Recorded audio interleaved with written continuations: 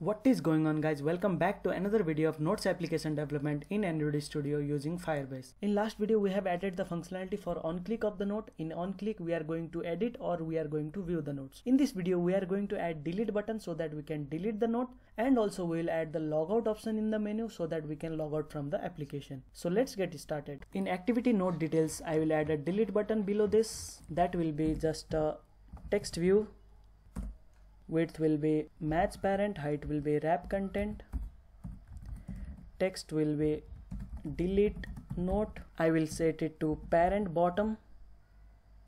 True. It will come here. I will center the gravity.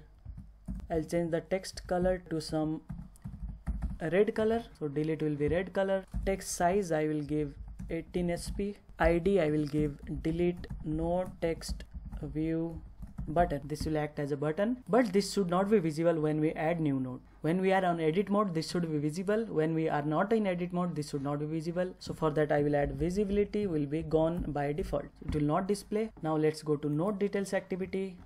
Create a text view. Delete note text view button.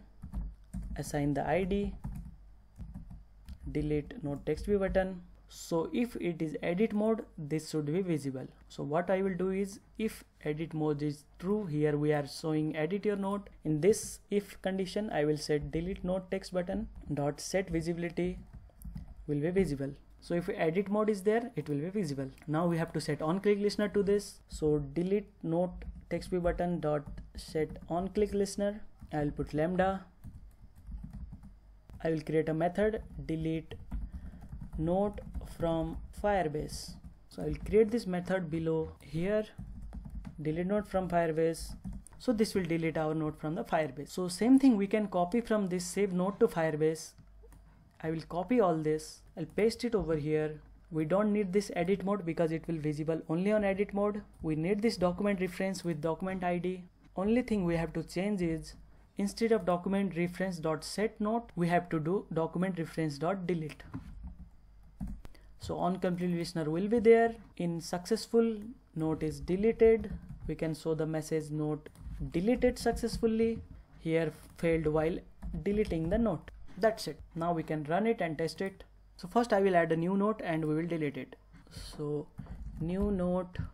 This is new note i want to delete. Click on save. It saved.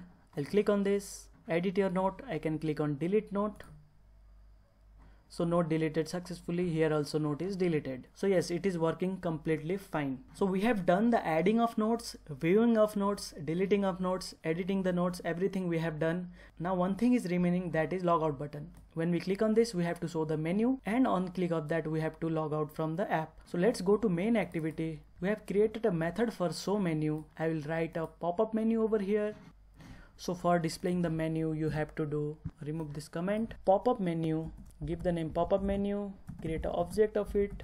You have to pass the context and the menu button which we want to use. That is menu button. So pop-up menu dot get menu dot add. We can add any number of menu. I will add only one for now. That will be our logout. And we will show that pop-up menu. On click of that menu button so it will show the pop-up menu now on click listener of that logout button, we will log out from the app. So pop-up menu dot set on menu item click listener, new on menu item click listener. So on menu item click, we should perform some task and return the true or false. So what task we will perform? First we will check if logout is being clicked. So menu item dot get title equals to equals to logout if we click on logout we have to go to login activity again. So from main activity we will go to login activity and finish this activity. So first thing we have to log out using firebase auth firebase auth dot get instance dot sign out. We have method sign out. This will sign out from our app and we will go to login activity. So new intent main activity dot this comma login activity dot class. Now we can finish this activity before going and then we will return true. That's it. So our login button should also work. Let's run it. So i'll click on this. We can see the logout menu. One menu we have added. If i click on logout it should log out and take me to login screen. Let's click on it. So as you can see I am logged out. If you restart the app also you will on the login screen until and unless you will log in. So I can log in now test 123 I'll click on login so I am logged in. So logout button is also working perfectly fine. So that's all for this video. In next video we will change this default icon to our launcher icon that will be our personal icon. I have one icon that I will use as a launcher icon for our notes application and also we will generate our signed APK so that we can share it with our friends. So if you enjoyed this video, please hit the like button. If you have any doubts and queries, please comment below. I will reply for you. Don't forget to click on subscribe button before going. See you in the next video. Bye bye.